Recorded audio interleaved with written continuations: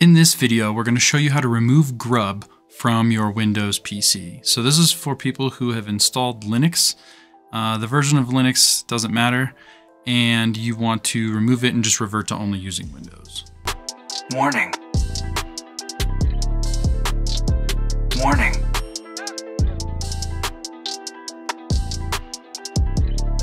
The first thing we need to do is determine whether or not your computer has a recovery partition. And to do that, we need to right click on the Windows icon on the start bar and select Disk Management. And from there, it's going to pop up a window that's going to list all the hard drives in your PC. Now, if you only have one, this will be easy, but if you have more than one, then you want to try and select the C drive like I've done here, and then you will see whether or not you have a recovery partition right here. Now, if you do, you can go ahead and shut the computer down and then we're going to proceed with turning the computer on and off three times, making sure that we power off when we see our computer's splash screen. I have an Alienware, so mine looks like this, but yours may be different depending on the brand of PC you have.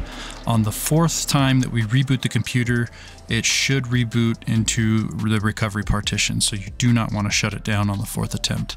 And if it was successful, you'll be greeted with a screen that looks like this. So once you are rebooted into your recovery partition, you want to click on See Advanced Repair Options.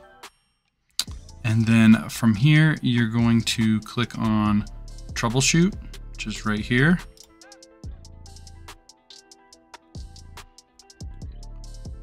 From here, you're going to click on Advanced Options again. And then the thing that we're looking for is command prompt right here. So we want to select this one. And it's going to bring you this um, DOS looking box for those of you that are old like me and know what MS-DOS is. And from here, we're just going to type in bootrec space forward slash fix MBR. And it should look just like this. Once you have that all typed out, then you can go ahead and press enter or return. And it should say the operation completed successfully. Now, if, if this all worked, we can go ahead and close this out and we can click on turn off your PC and shut down. Now, if your computer doesn't have a recovery partition or recovery mode that allows you to do what we just showed you in the video, where you turn your computer off and back on three times, and then on that fourth attempt, it allows you to reboot into the recovery partition to do the actions that we did, you can actually create a recovery USB for Windows and it will require a thumb drive similar to this one that is approximately one gigabyte in size and I will show you how to go ahead and make that right now. So to create your recovery drive on Windows 11, um, you are simply going to type in search box here, recovery drive, and you're going to select this application. We'll select yes on the pop-up now, if you don't have this, just real quick, you're want to go to this website and I'll throw the link down in the description below.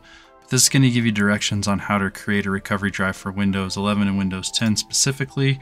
And then it was called by different names if you have an uh, earlier version of Windows.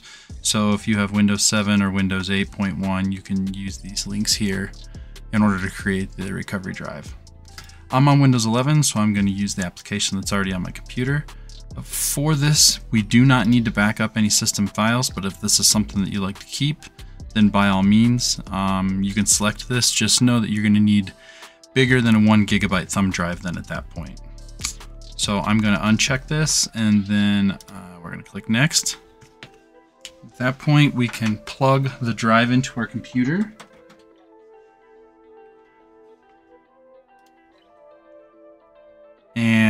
Will show the available drive. We select next. It's giving us a warning that everything will be deleted. And we click create.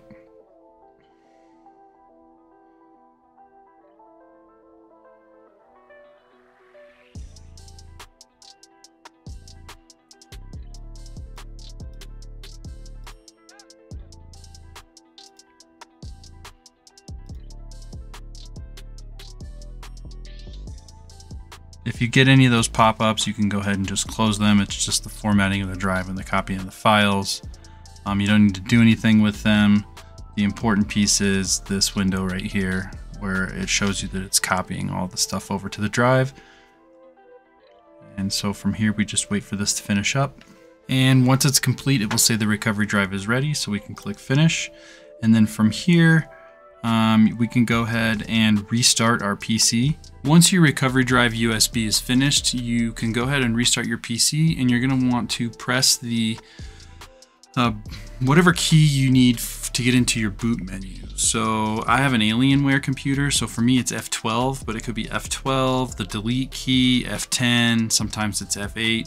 It really just depends on your PC manufacturer, um, or if you have a custom PC, your motherboard manufacturer. So that's something that you're gonna have to either look up in your computer's literature or Google, um, but you, you need to be able to boot from the USB drive if your computer is not already set to do that automatically. On some computers, if they're older, you will need to go in and actually change the boot order in the BIOS to be able to read from the USB before reading from the hard drive. And again, that's going to be different on every single computer. So from here, I'm going to go ahead and boot into the USB and then I'll show you what you need to do on the computer. So this is what my boot order looks like when I press F12 when my computer is rebooting. And so you want to press whatever key it is for your manufacturer. Um, right around when you see the, the splash screen. So for me, it's when I see the Alienware pop up on my computer monitor. For you, it might be HP or uh, Dell, uh, what have you. And so we want to make sure that we're going to be selecting the USB that we just made. So in my case, you can see here that I have USB 1 Windows Boot Manager. So I'm going to go ahead and make sure that that is highlighted, which it already is. But if it weren't, I could just use the arrow keys on the keyboard and then I'm going to press enter. And this is going to boot us into the recovery drive that we just made. From here, you will select your keyboard layout. So for me, it's US.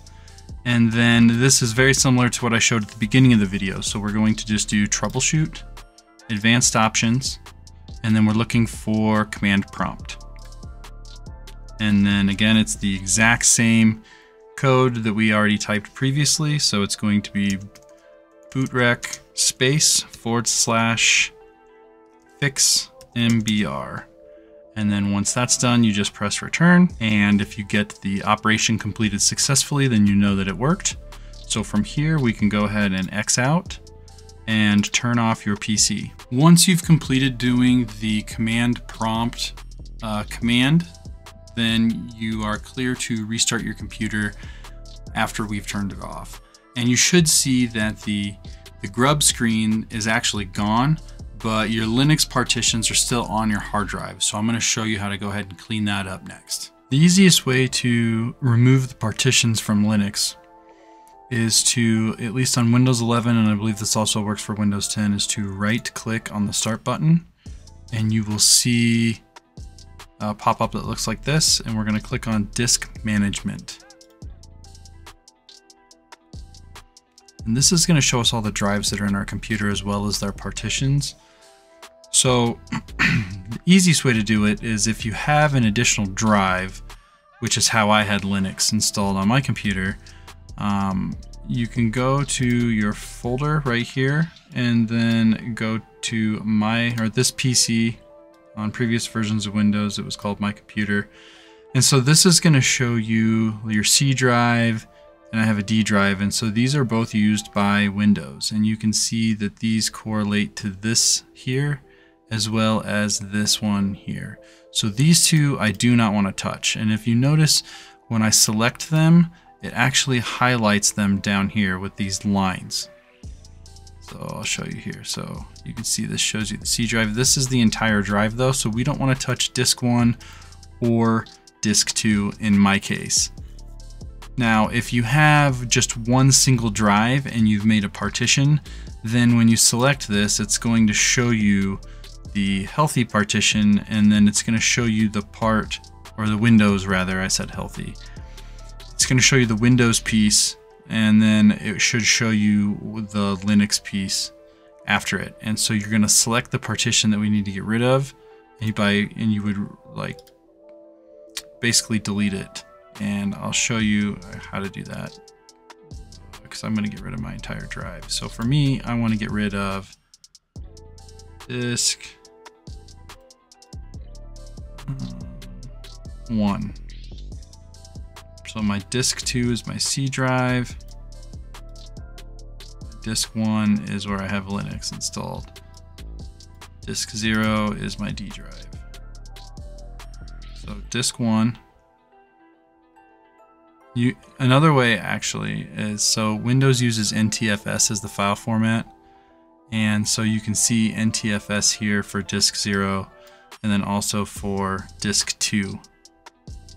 So that's how we know we don't want to touch anything that says NTFS because that has to do with Windows. So if we right click on it, it looks like we have to do partition 2 first. Click delete volume. We're to get that um, pop up. For sure we want to delete it.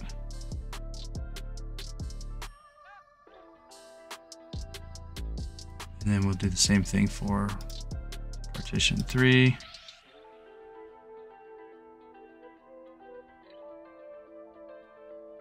So we're unable to delete the EFI partition from uh, disk management within Windows here. It won't, it won't let you do it. So you need to go to your search bar and we're going to type in disk part and press enter. This is going to open up command prompt. We're going to go ahead and type in list disk. This is going to show us all the different hard drives that are on our computer. And if you look here, we were looking at disk one, it's 953 gig in my case, so yours is going to be completely different depending on how many hard drives you have. Um, so for me, disk one is 953 gigs, so we're going to select disk one. And then from there, we're going to list the partitions. And there's only one partition left. It is a system partition. It is 300 megabytes, and that is because we deleted the other two partitions through the disk management software in Windows. So in your case, if you're doing this on one drive, you're going to have more than one uh, partition listed here. And you want to be very careful that you don't inadvertently delete the wrong one because then your computer will not boot. so we're going to do delete. Actually, I want to do select. Partition one. And then delete. Partition.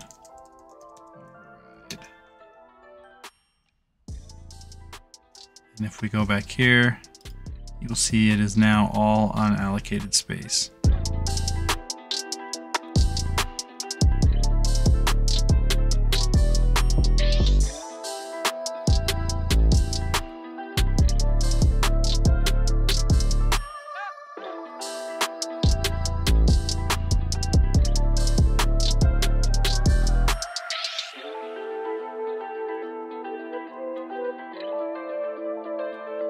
I really hope this worked out for everybody. If you have any issues, don't forget to hit me up down in the comments. Um, and like always, if you like this video, please give me a thumbs up and subscribe. That helps me out a lot, helps the channel grow. And that's it for this one. So peace.